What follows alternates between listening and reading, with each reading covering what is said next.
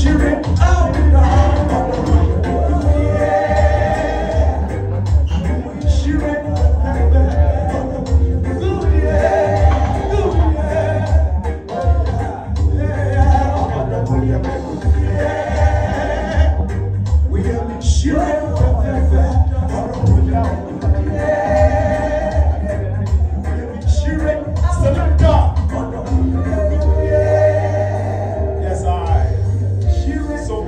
Basically, I try to transpose high life into reggae music, and BBC and I said it's high life. So, music, uh, we have something great. We have no fear. My senior man Rocky is here.